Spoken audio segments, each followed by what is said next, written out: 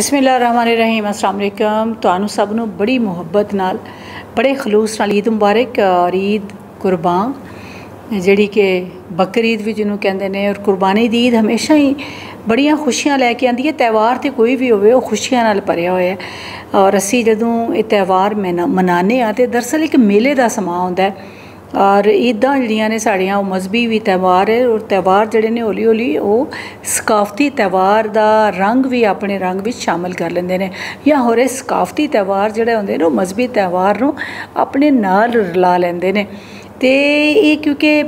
ਇਨਸਾਨ, ਲੋਕ ਇਹਨਾਂ 'ਚ ਇਕੱਠੇ ਹੁੰਦੇ ਨੇ, ਆਪਣੇ ਰਿਸ਼ਤੇਦਾਰਾਂ ਪੈਣਾ ਭਰਾਵਾਂ, ਦੋਸਤਾਂ, ਅਜ਼ੀਜ਼ਾਂ ਨੂੰ ਮਿਲਦੇ ਨੇ ਔਰ ਇੱਕ ਐਸਾ ਮੌਕਾ ਹੁੰਦਾ ਹੈ ਕਿ ਜਦੋਂ ਅਸੀਂ ਆਪਣੇ ਦਿਲ ਦੀਆਂ ਸਾਰੀਆਂ ਜਿਹੜੀ ਖਲਸ਼ ਹੁੰਦੀ ਹੈ, ਦੁੱਖ ਹੁੰਦਾ ਹੈ, ਨਫ਼ਰਤ ਹੁੰਦਾ ਹੈ ਔਰ ਕਿਸੇ ਤੋਂ ਕੋਈ ਸ਼ਿਕਾਇਤ ਹੁੰਦੀ ਹੈ, ਉਹਨੂੰ ਕੱਢ ਕੇ ਸੁੱਟ ਦਿੰਨੇ ਆ ਔਰ ਨਵੇਂ ਸਿਰ ਤੋਂ ਹਯਾਤੀ ਕਰਨੇ ਆ ਔਰ ਪਿੰਡ 'ਚ ਅਸੀਂ ਦੇਖਿਆ ਨਿੱਕੀ ਈਦ ਔਰ ਵੱਡੀ ਈਦ ਔਰ ਉਹਦਾ ਜਿਹੜਾ ਇੱਕ ਖਾਸ ਲੁਤਫ ਇਹ ਹੁੰਦਾ ਸੀ ਕਿ ਵੱਡਿਆਂ ਨੂੰ ਇਹ ਕਹਿੰਦੇ ਆ ਸੁਣਿਆ ਕਿ ਈਦ ਹੈ ਤੇ ਛੱਡੋ, ਪੁਰਾਣੀਆਂ ਗੱਲਾਂ ਮਾਫ ਕਰੋ, ਚਲੋ, ਜਿਹੜਾ ਰੁੱਸਿਆ ਉਹਨੂੰ ਮਨਾਉਣ ਚੱਲੀਏ, ਉਹਨੂੰ ਲੈਣ ਚੱਲੀਏ, ਅਗਰ ਕੋਈ ਭੈਣ ਭਰਾ, ਚਾਚਾ, ਤਾਇਆ, ਮਾਮਾ, ਮਾਸੀ ਜਾਂ ਕੋਈ ਥੋੜਾ ਦੂਰ ਦਾ ਰਿਸ਼ਤੇਦਾਰ ਰੁੱਸਿਆ ਕਿਸੇ ਵਜ੍ਹਾ ਤੋਂ ਤੇ ਚਲੋ ਉਹ ਨਹੀਂ ਸਾਡੇ ਘਰ ਆਏ ਤਾਂ ਅਸੀਂ ਉਹਦੇ ਘਰ ਚਲੀਏ, ਗੋਸ਼ਤ ਲੈ ਕੇ ਚਲੀਏ, ਖਾਣਾ ਲੈ ਕੇ ਚਲੀਏ ਔਰ ਉਹਨੂੰ ਆਪਣੇ ਘਰ ਲੈ ਕੇ ਆਈਏ, ਮਨਾਈਏ।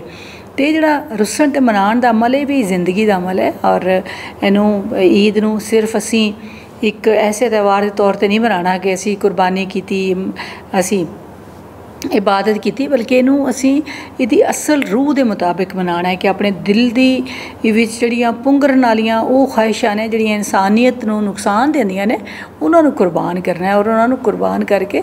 ਤੇ ਸੁੱਟ ਦੇਣਾ ਹੈ। ਤੇ ਆਪਣੇ ਦਿਲ ਨੂੰ ਬਿਲਕੁਲ ਸਾਫ਼ ਕਰਨਾ ਹੈ ਸ਼ੀਸ਼ੇ ਵਾਂਗ ਬਣਾ ਲੈਣਾ ਹੈ ਔਰ ਮੈਂ ਐਫਐਮ 95 ਪੰਜਾਬ ਰੰਗ ਦੇ ਸਾਰੇ ਸੁਣਨ ਵਾਲਿਆਂ ਨੂੰ ਇੱਕ ਵਾਰ ਫੇਰ ਈਦ ਮੁਬਾਰਕ ਕਹਾਣੀ ਆ ਔਰ ਉਮੀਦ ਕਰਨੀ ਆ ਕਿ ਤੁਹਾਡੀ ਈਦ ਇਸ ਵਾਰੀ ਬਹੁਤ ਹੀ ਸੋਹਣੀ ਲੰਘੇਗੀ ਔਰ ਤੁਸੀਂ